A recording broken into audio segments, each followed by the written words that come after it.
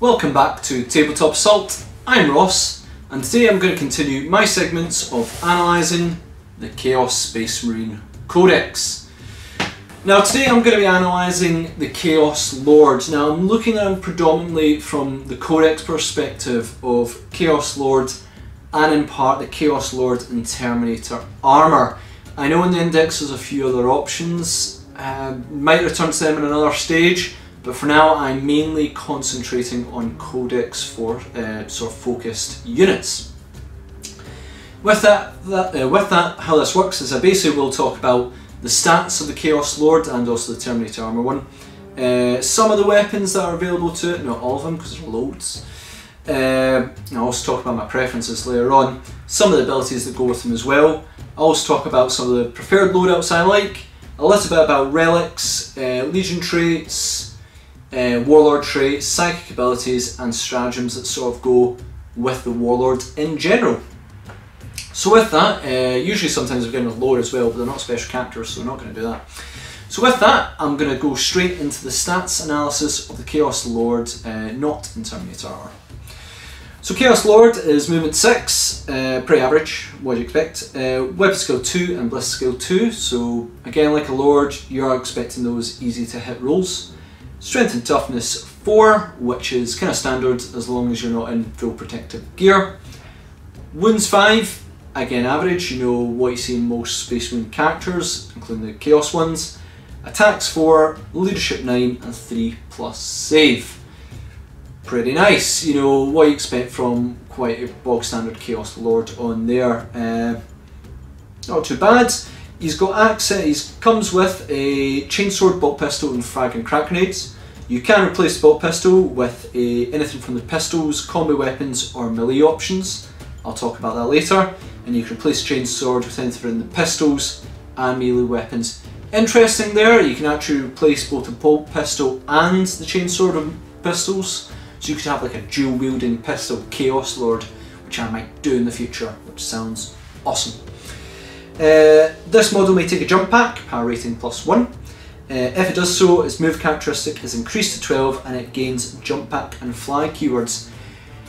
Very interesting about this, I'm going to talk about jump packs a lot in this review video, uh, just because I think they do offer a lot to Chaos Lords. There is a key weakness, just watch out for things that do target flyers. I'm looking at you, Dune Crawlers, I know that too well.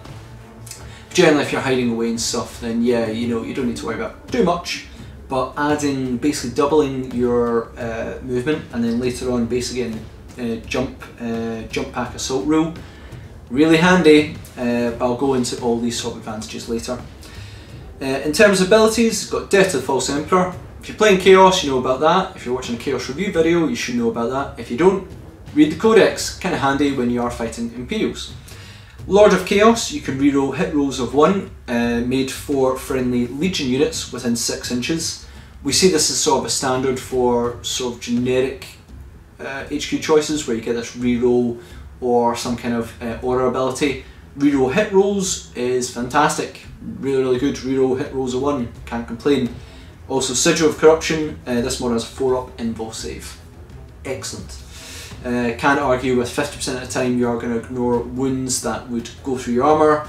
4 up invul certainly does give you a lot more better protection. You also, when you've got jump pack, jump pack. So uh, during deployment, if this model is a jump pack, you can set up in, uh, up high in the skies instead of placing it on the battlefield. At the end of any of your movement phases, this model can assault from uh, assault from above, set up anywhere on the battlefield that is more than 9 inches away from an enemy model. I feel we know a lot of us know how to infiltrate of now. Again, that with Chaos Lord is really handy, uh, really good for synergy. I'll talk about some tactics for that later. Let's talk about the Chaos Lord and Terminator armour. Fills a very different role than the Chaos Lord. Some cases it's similar, some it's not. So Terminator armour is movement 5, so you are losing an inch of movement uh, in the Terminator armour. You're basically giving up mobility in some regards to uh, protection. Weapon skill and ballistic skill 2, you're hitting the same as before. Excellent, because if you lost anything there, I'd be really upset. Strength and toughness 4 is what you see in Terminators. You need to have a different type of armour and also be a Space Marine to get higher toughness or Death Guard. Uh, but it's what you see in Terminator armour. On average, you're going to be strength and toughness 4. Six wounds, so you're gaining extra wounds by being in Terminator armour, which is excellent. Uh, four attacks. Really wish it was made one more, but I could be being greedy there. But yeah, four attacks. Leadership 9 and a 2 plus save. So having that extra save, you know, just means that a lot more wounds, especially low incoming Firelight Bolters are just going to ricochet off you, which is always, always helpful. Uh, Chaos, uh, Chaos Lord and Terminator Armour is, is, a single model armed with Power Sword and Combi Bolter. Quite cheap options there, uh, obviously a bit better than a Chainsword and a Bolt Pistol, but certainly some options there. Uh, I'm not going to go into Combi Bolter and Power Sword statistics because there's so many options you've got. This model can replace its bolt, uh, Combi Bolter for one items from the Combi weapons or Terminator melee weapons, so you've got those choices there as well. This model may replace its Power Sword for one item from the Terminator melee weapons as well. So that allows you to dual wield Terminator weapons. You can have a Power Fist and a Lightning Claw, I think so. Do I want to? I don't know. Uh, I'm not going to talk about them so much as well, I'm just realising I can have a dual wielding pistol Chaos Lord that isn't Cypher. I like it. Uh, in terms of uh, abilities for them, uh, Death to the False Emperor, we've already not discussed it, uh, which is a terrible thing for me to say, but have a read of it, obviously it affects the Imperial units. Uh, Lord of Chaos, you can reroll hit rolls of 1 made for friendly Legion units within 6 inches of the model. Talked about that, order ability, super useful. Sigil of Corruption, this model has 4 up invul, we love that 4 up invul. And Teleport Strike, essentially like the Jump Pack Assault, during deployment you can set up, set up the Chaos Lords and Terminator, uh, Terminator Armour in Teleportarium chamber, instead of placing on the battlefield at the end of movement phase, you can use Teleport Strike to arrive on the battlefield. Set them up anywhere on the battlefield that is more than 9 inches away from an enemy model. Again, I'm going to talk about more specifically these deep strike uh, synergy uh, sort of tactics you can do with Chaos Lord later on, or more imminently. So yeah, that is what you can get in terms of stats and abilities in the Chaos Lord. They're in the Codex. You've got a lot of options in terms of variety of war gear. With that, I'm actually going to go straight into sort of my preferred loadouts and suggested roles for the Chaos Lord. Uh, I'll then go into sort of some wee bits on relics and them as well as an additional part. So, loadouts and suggested. Uh, I've got my first loadout called Only the Rerolls Battlefield Edition. Chaos Lord with Bolt Pistol and Chainsword. Yep. Because you like Havocs, Predators, Forge Fiends, etc. You want those reroll ones and won't really help defending them either. Uh, basically, you know, as long as you know reroll ones for friendly Legion units, as long as they've got the Legion rules, which I'm pretty sure Havocs, Predators, and Forge all do. I'm like 90% sure they do. Then yep, they get that bonus as well. Ross has a check to make sure Forge Yep, they're Legion. Oh. So yeah, uh, it's basically making sure your backfield gets much, much, much better access to those rerolls because nothing's worse than having your lascannons hit on a one when you could have rerolled it and got a lot more threat. For a few points I would consider a Power Sword to help defend them, or maybe light, Lightning Claws to fight off like lighter uh, infiltrating units. Uh, it's really against who, depending on who you're facing. I like Lightning Claws against sort of things with very low armour. Uh, Power Sword if it's a bit heavier. Okay, okay, we've now got. Uh, I'm here partly for the rerolls. Uh, Assault Edition. Chaos Lord with Bolt Pistol, Power Weapon, or Lightning Claws. So basic equipment stuff, uh, these are a bit more geared if you want to face your opponent. I personally like either Lightning Claws for reroll wounds or Power Fist. I think I said Power Weapon, but it's like anyone. I like Power Fist for good ability to wounds, threaten light vehicles, good AP, and potential damage. I don't do plasma pistols, not really, I've never done it. I just think if you plasma pistol, uh, when you range plasma pistol, you're destined to charge as well, and uh, they'll always remove like the front guy and you lose an inch. I just don't see why. I could be wrong. Uh, you may also die if you supercharge. So I'm not really sold on sticking on a plasma pistol there. I'll just take a bolt pistol and uh, want to get in charge range. We then have only the rerolls drop edition. And that's the one I said I was going to talk about. Chaos Lord with jump pack with a combi plasma, or Terminator armour with combi plasma and a power weapon of some type. So what is the goal with this Chaos Lord? Rain unholy reroll supercharged plasma on your foes. Terminators deep striking with Chaos Lord will be thankful for those rerolls and the damage they can unleash uh, can be a real pain. Add in endless cacophony as well. I mean, if you have like 10 Terminators all with combi plasmas, uh, don't fire the, the bolter part, just fire the plasma part. I mean, what's that? Is that like rapid fire loads? You're to get like 20, 20 shots of 10 of them, reroll the ones. If you supercharge them, you hopefully won't lose any and you will cause so much damage. Endless Cacophony, I think it's three command points for Slaanesh models allow you to fire again. Drop in those Terminators, drop in that Chaos Lord either with a Jump Pack or Terminator Armour. That is a good wee alpha strike for Terminators. Uh, oh man, I really like the sort of prospect of it. Just annoyed, I don't own really Terminators anywhere near that configuration, uh, or a Chaos Lord who can really do either. Uh, I am working on it. I really want to give it a try and see if that tactic's viable. Certainly a Chaos Lord, uh, that drop tactic sounds delightful. So in terms of artifacts and relics, I'd probably recommend for this one as well. I'll do this very lightly because, quite frankly, when it comes to relics, I love them in Demon Princes. Flesh Metal Exoskeleton, Iron Warrior models only.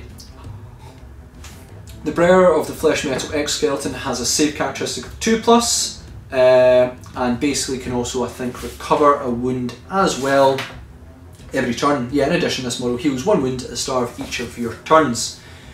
Really handy, so to add a bit more of a defensive one. You might consider on a Chaos Lord with a jump packs, I think you can do that as well, because your opponent will try and target them to reduce the rerolls uh, later in the game. They may also just target your Terminators instead but uh, having that little bit more defense is always super helpful.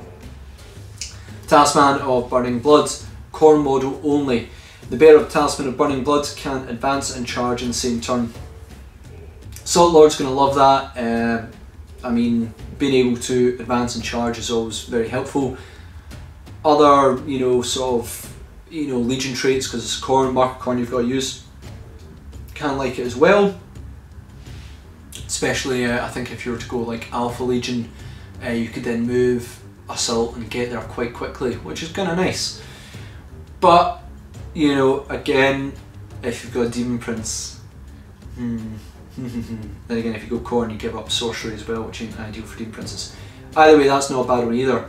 What I do like though, and I think this is an interesting option, is Pus Cleaver. Nurgle model with Power Sword only. Pus Cleaver replaces the bear's power sword and has the following profile. It's melee range, type melee, strength user, minus 2 AP and D3 damage. What makes this interesting is this weapon wounds on a 2 plus unless the target is a vehicle, in which case roll to wound as normal. Now I think you're giving up minus 1 AP there and then you're doing more damage, but you're wounding on a 2 plus on almost everything let that sink in a wee bit there. That's kind of nice. You know, you're hitting on 2 plus, re-rolling ones, and then you're wounding on 2 plus, uh, stripping off 2 AP and D3 damage. I really like that. I think I've got some more synergy tactics about that later on, but certainly for going into combat, that really makes Nurgle a sort of interesting choice for the mark. So yeah, I really like that one let me know on sort of relics that you like as a Chaos Lord loadout. I'm interested to hear. I've not tried many of them Chaos Lord. I tend to overload them on Demon Princes, but uh, certainly on Chaos Lord. Let me hear your views and let other viewers also uh, read them as well because I think we're all interested. We're here to learn. Legion traits. Legion traits will differ depending on your Chaos Lord's role that he wishes to perform. Although ultimately your attachment will kind of decide this, uh, but then again, I am discussing the Chaos Lord, so I kind of got to discuss what ones will help him the best. Renegade Chapters Dark Raiders. This allows a unit with this trait to advance and charge in the same turn. Uh, say, uh, sorry, allow them trait to advance and charge in the same uh, turn. Generally, an awesome trait, giving a further mobility and threat range for your Chaos Lords. Matched with a jump pack and the th- jump pack and the threat range is pretty high. Obviously, you can't get the full advantage of it uh, if you deep strike assault because you can't advance, but you can certainly reroll that charge, which is handy. Uh, not with Renegade chapters, you can just advance, so really it's no use if you deep strike in. That was my bad, I was getting that confused with the Talisman of Khorne. But uh, if you're coming out of a Rhino, it's really handy as well because then you can mo- uh, move out the Rhino, move, advance, and then basically get into super threat range. Make sure he does have a retinue, and obviously this does work mainly for combat orientated Chaos Lords. So you probably want to have him going along with like Possessed or Khorne Berserkers or something. World Eaters, Butcher's Nails. When a unit with this trait makes a successful charge, you can make one additional attack with, the, uh, with each of its models in the subsequent fight phase. Well, you guessed it, it's going to be geared towards the combat monster guys. Uh, they're going to love this. Really, it's a flip between mobility from Dark Raiders because obviously you get your uh, move, advance, and charge from mobility there, or get extra damage. It's a tough call. It really depends on your army composition and how you are deploying. If you're smart, then those extra attacks from many of your units might actually be hugely advantageous versus a higher chance to get in combat. I like both. I tend to use Dark Raiders more than anything in terms of my battle reports because I quite like Huron. But uh, you can't go wrong if you've got you know Berserkers all getting an extra attack and the fight twice, so essentially two. nice. Night Lords, Terror Tactics. I'm a fan of Night Lords by the way, uh, lore wise. Models in the enemy unit must subtract one from their leadership characteristic for each unit with this trait that is within 6 inches of theirs to a maximum of minus 3. I like this on a Jump Lords, uh, which kind of makes sense. The mobility does allow you to choose targets and work well to fear bomb expensive units. Horde units probably won't care. I just wish it was like 3 inches more to sort of, you know, if it was 9 inches, it just means you'd be clipping more units and have a bit more of an effect. So, you know, positioning is absolutely key with this uh, with this Legion trait. I think it's one of the hardest ones to get the full advantage of. But if you can, you can be absolutely devastating. But you just need to plan each move so carefully, like so, so, so, so carefully. Uh, on jump packs, Night Lords, it all makes sense. Mobility just guarantees you get where you need to be. Emperor's Children, flawless perfection. Units with this trait always fight first in the charge phase, even if they didn't charge. If an enemy unit has uh, if an enemy has units that, that have charged that have similar abilities, then alternate choosing units to fight with, starting with the player whose turn is taking place. Now I really like uh, this a Chaos Lord, not as an aggressive trait, but a defensive one. Makes Chaos Lord a good choice as a backfield defender for Noise Marines or Havoc squads that may be threatened from an ambusher. Uh, Chaos Lord not only allows that, that all important reroll ones, but if charged, you can possibly heroically intervene to push those ambushers back. Usually, they would have all the chance to attack you first. Then you've got to go, alright, well, do you want to attack my Noise Marines or other units there? Or do you want to go for the Chaos Lord because otherwise he can smash you apart? It basically mitigates the enemy's choice in terms of the combats. Nine times out of ten, they're probably going to go with Chaos Lord first because you just don't want him attacking back. It's not going to be ideal, you know? It's even worse than a Demon Prince. Anyway, we're not talking about that today. That's coming up. I'm working on it.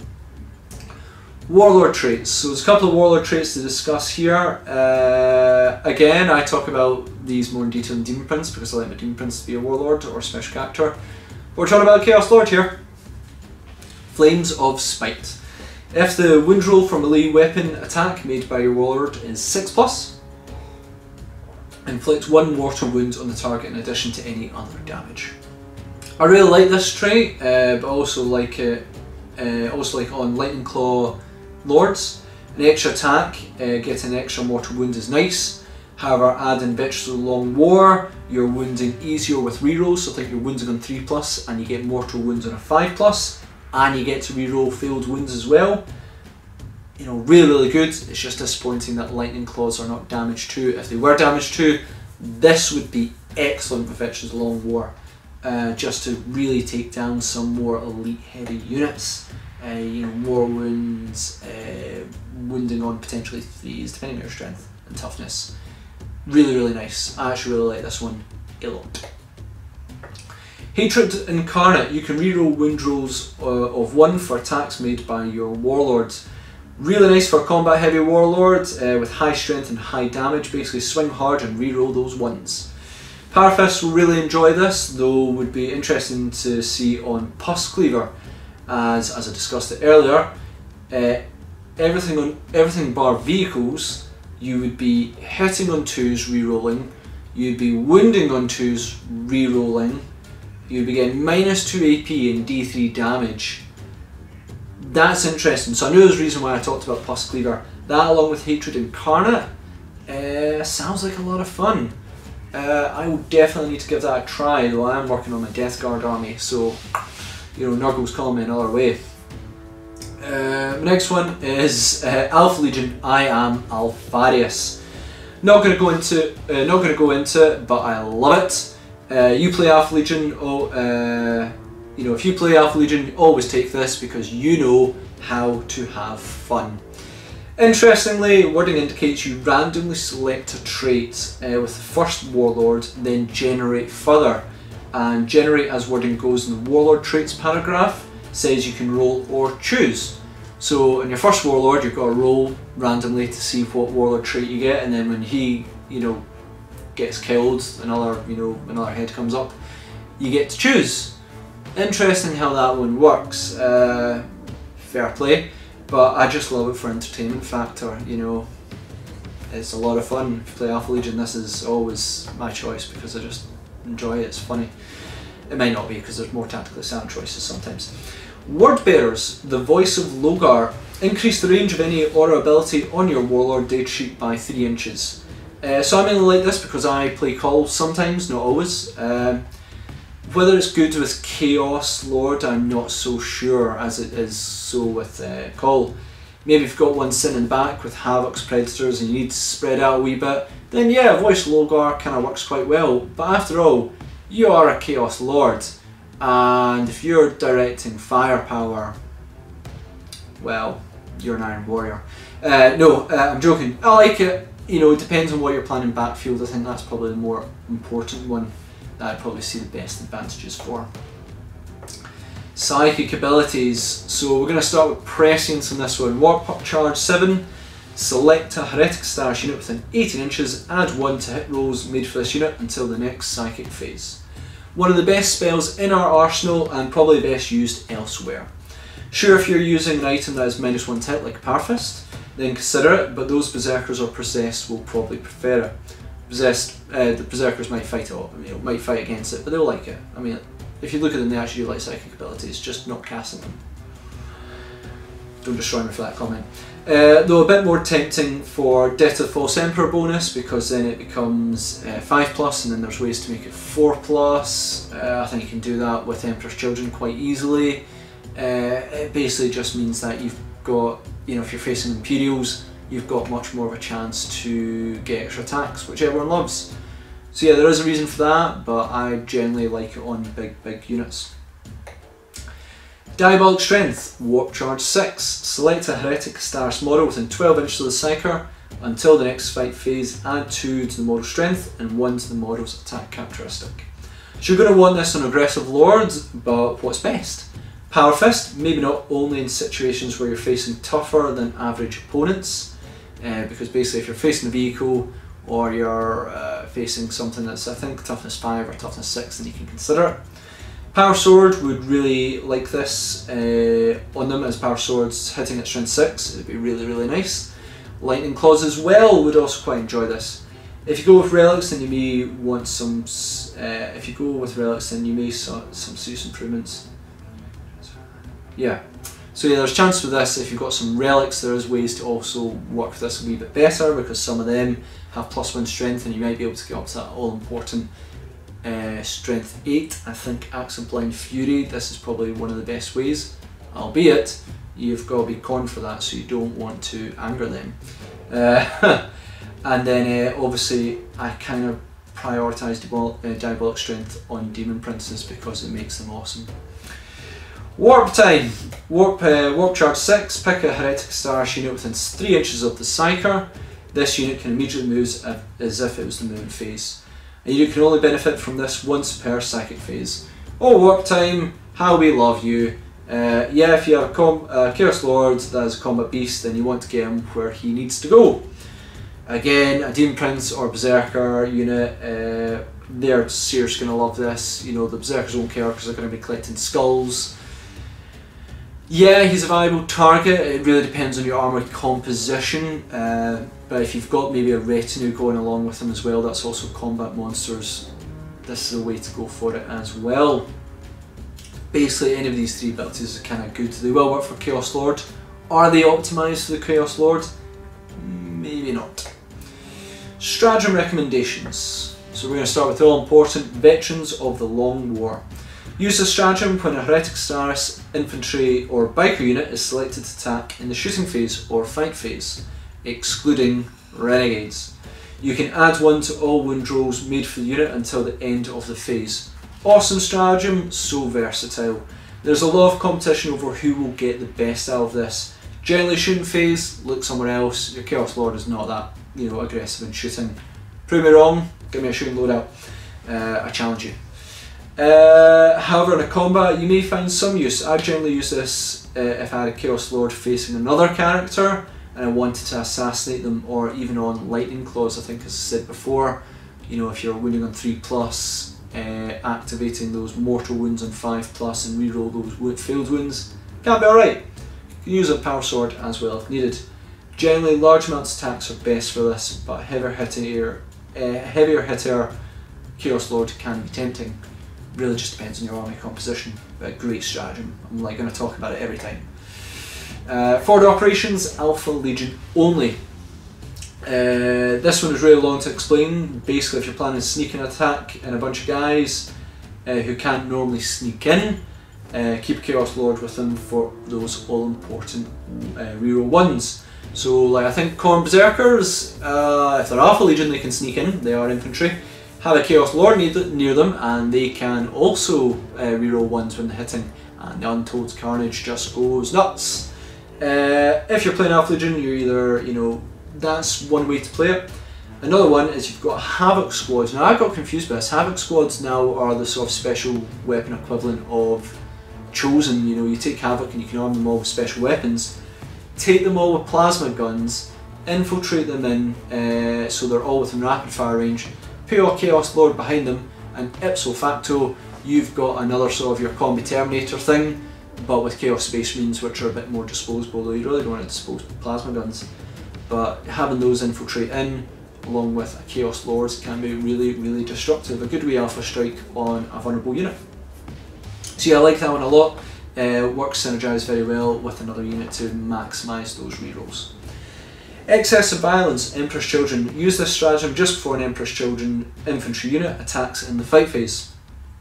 Each time a model in this in your unit slays an enemy model, it can immediately make another hit roll using the same weapon at the same target. Don't benefit from it again, basically. So awesome, really nice if you find things with low toughness and low armour. Like Horde units, though again, bigger units may see a better advantage, though Death of the False Emperor works well here as well. Really like that one, you know, Emperor's Children just being able to rack up the attacks would be really, really nice.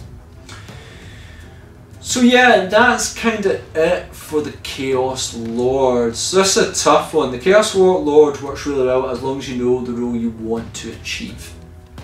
Are you going to rerolls in Battlefield? Do you keep it cheap or do you put some points to help defend? I think Power Sword's like four points, or it may have came up or down or something. It's quite cheap, so maybe stick that on there just for helping. Am I dropping a really dangerous unit and need a Chaos Lord support? Then Jump Pack or Terminator fits the role as well. As for combat stuff, I struggle to see aggressive Chaos Lord versus Demon Prince. Demon Prince is an expensive investment, but the threat it brings is great, and I'm so looking forward to reviewing that in the future. So yeah, I really want to try out Chaos Lord uh, with a gunline uh, Chaos Force and I have a whole bunch of heavy weapons coming for Chaos hopefully in the next month or two. Well, more recently it's going to be awesome and I need to build a Chaos Lord to assist them and I'd love to try them with a Terminator unit as well basically use some of these drop tactics with them as well to work in the best synergy. Interested by Pus Cleaver, I didn't realise that until I wrote that the other night. Uh, I might try that as well. And if you're going aggressive, help me out here guys. You know, I know I'm doing the tactical video, but again, you can let me know. I really like Daemon Princes, but if you've got truly mean Chaos Lord builds, let me know. So thanks again for watching, hope you enjoyed, hope you learned. Uh, please comment, share, like and subscribe. I'm very interested to hear what you guys think on this one as well. Check us out on social media and Patreon, we put some stuff up for there as well. And we'll catch you on our Tabletop Assault Battle Report.